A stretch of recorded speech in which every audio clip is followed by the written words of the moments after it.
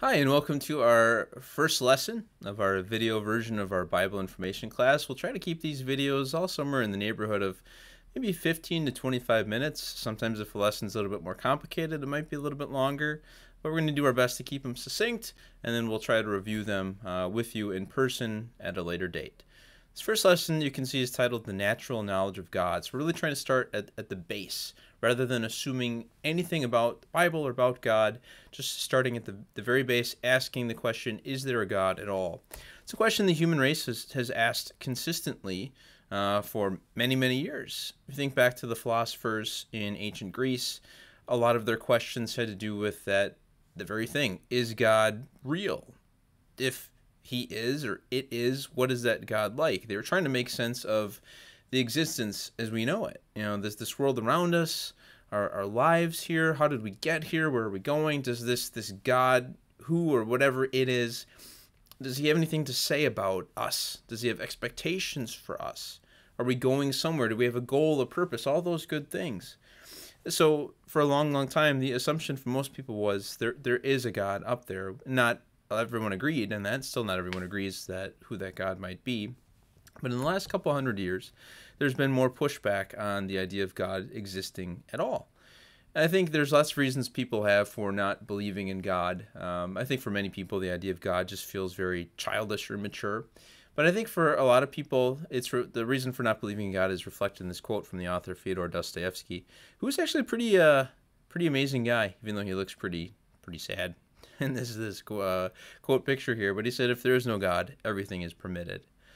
I I wonder how many people don't want to believe in God because they simply don't want to be held accountable to Him. Now, I understand that. I've been Christian my whole life, but I understand the uh, concept of wrestling with God's judgment.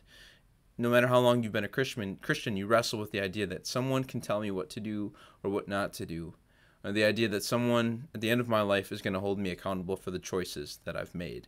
Now, as Christians, there's a wonderful answer to that question. But if, if you don't know what the Bible says about God being someone who finds forgiveness for us through Jesus Christ, then yeah, the idea of God, I think, seems primarily scary. And you don't really want God in your life. And as Dostoevsky says, if, if I don't have any God, I can kind of do what I want. Where do we find God? Well, primarily as Christians, we find Him on the cross. That's where we're going. Uh, that's the goal of all of these lessons. That's the goal of this entire course is to see God on the cross. That's where we see God most clearly. We see His heart. We see His love. We see His willingness to sacrifice for us. We see the forgiveness that is ours, the hope of heaven that we have. We'll, we'll get there. But right now, we're and we're starting at the base and just asking the question: where do we find God? You know, people look for God in lots of different places. We're going to start today just by looking at, at nature, and we'll use the picture first of a building because that's what Scripture does. So when you see a building, and we just got through a building project here recently at, at Beautiful Savior, and it was interesting. I'm actually sitting. This office was part of that building project. So if this was a year and a half ago at this time, uh, I would be sitting outside on the front lawn. But over the course of a year and a half, this expansion was constructed.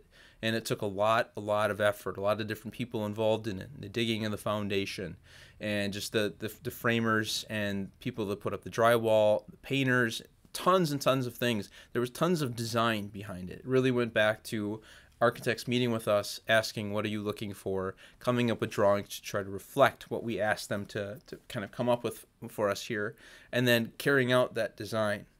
So when you come across a building, whether it's a home, church, Meijer, whatever it is, you assume that there's some design behind it.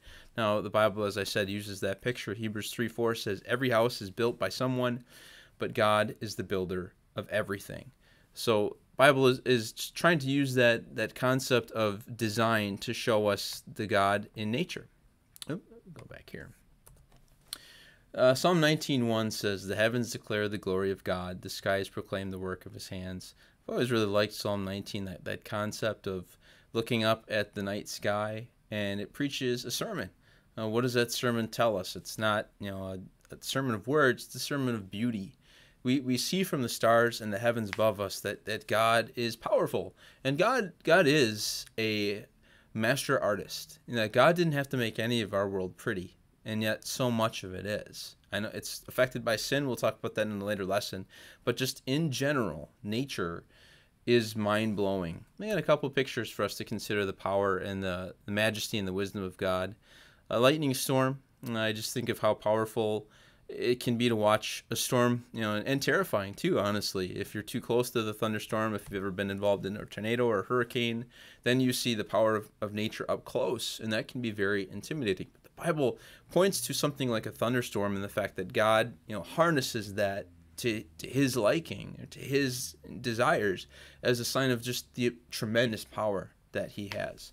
Uh, another picture here, uh, I'll make this one bigger here for you. Just the, the beauty of creation. Uh, it's the, the picture here of someone overlooking a beautiful valley. I think some of the travels I've had the privilege of going on in my my life. Uh, years ago, my brother-in-law was getting married in Hawaii, and he asked me if I would do the wedding. I was like, uh, absolutely, I will. That sounds amazing.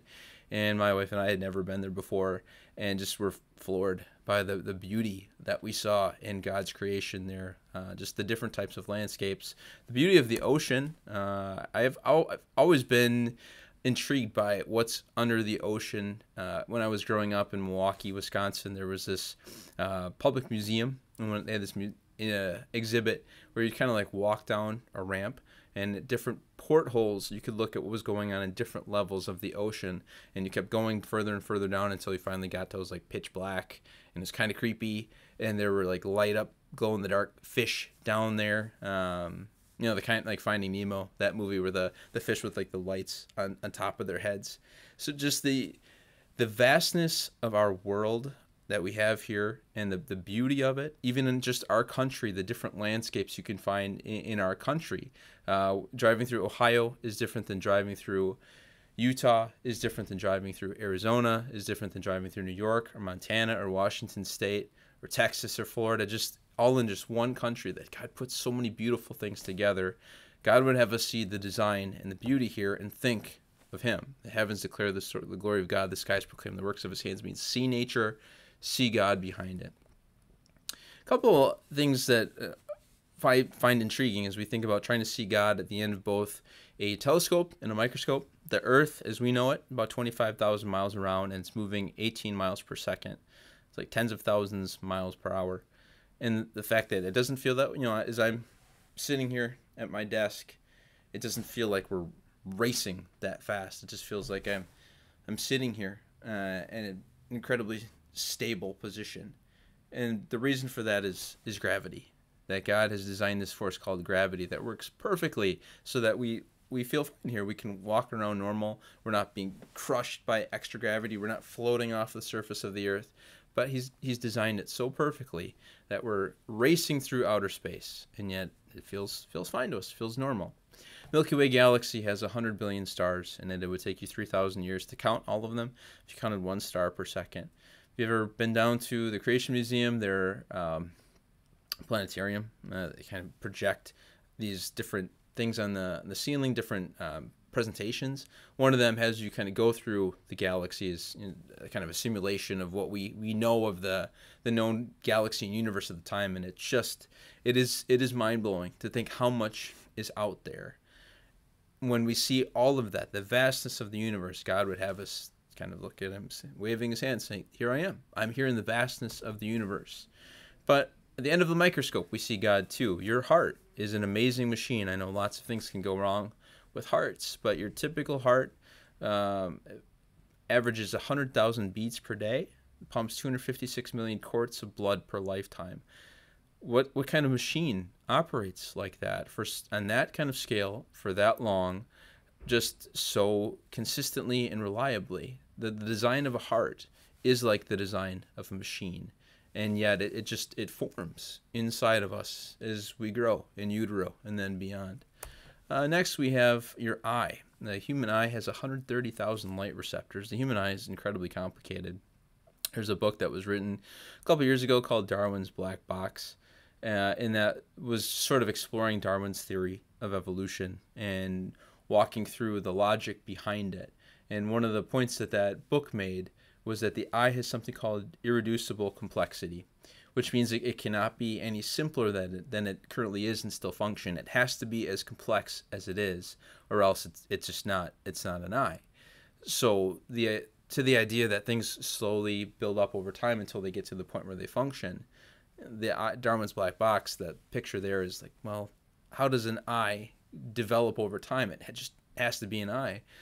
And to go to all these different stages in development does not really seem to check out. I think Darwin himself once mentioned that that as he was thinking about different elements of his theory, he just to quote him loosely, the, the human eye made him shudder. Just thinking, okay, I've got this this theory of how all these things developed, but something like the eye gives me a little bit of pause that I'm not entirely sure that this is how things went. So the eye for us is, is a stunning demonstration of God's power, your brain, although our brains can be very slow, especially in the morning, your brain will process 15 trillion bits of info by the time that you're age 70. And the different things that your brain is in charge of, just the involuntary functions that your brain helps carry out, and the things that your brain is able to handle, the storing of memories, the location of emotions. Are, I don't know that scientists will ever know exactly how our brains operate, but the more we learn about the brain, the more incredible it is. Paul talks about this in Romans 1. He says, Since the creation of the world, God's invisible qualities, his eternal power and divine nature have been clearly seen, being understood from what has been made, so that people are without excuse. Paul is saying in this, this verse is that if you take an honest look at the world around us, take a look at our bodies, take a look at animals, ecosystems, all those things, who God is in terms of his power and his divinity, it's obvious. He's saying people are without excuse. There's, it just you cannot look at the design of our world and say, no, no one did this. There was no personal action behind it. From Paul's perspective, from God's perspective, his presence should be obvious from just the world around us. That's the first part of the natural knowledge of God, just looking around at the world and saying, God's here. Second part of natural knowledge of God, I uh, have an example from my child. This, this isn't a picture of me, this is just a stock photo. I have two sisters, uh, one older, one younger. We had just moved into a, a house when I was, I think, six years old or five years old, and my younger sister was riding on those little big wheel tricycles, you know, like um, you know, plastic ones. And I don't know why I wasn't upset at her. I think I was just curious, but she was on the big wheel by the basement steps. And I just reached out and pushed her down the basement steps. She was fine. By the grace of God, she didn't have any injuries, was very upset with me, understandably, if she's crying. I got in major trouble. But the point of that is from the moment that I extended my arm to push her and it was too late to stop, I knew this this is really bad. Now my, my parents had never told me do not push your sister down the stairs. But I knew in that moment my conscience was telling me this is this isn't good. This isn't good. Mark Twain has a, a great quote, a man's conscience takes up more room than all the rest of his insides. You ever heard that quote before?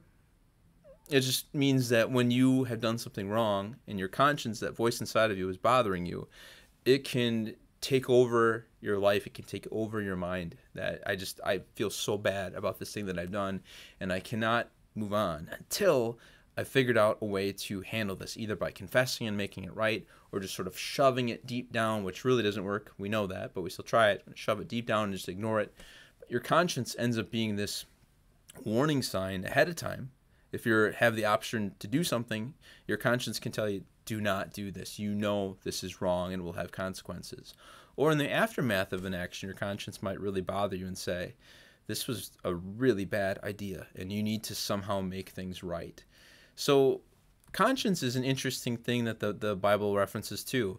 Paul says in Romans 2 Indeed, when Gentiles who do not have the law do by nature things required by the law, they are a law for themselves, even though they do not have the law.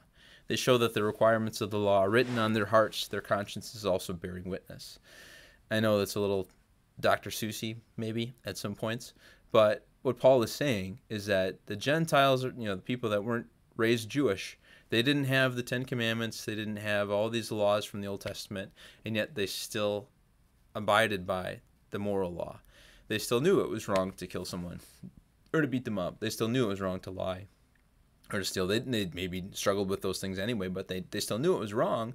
Even without the Bible, they established laws about what a person should or should not do.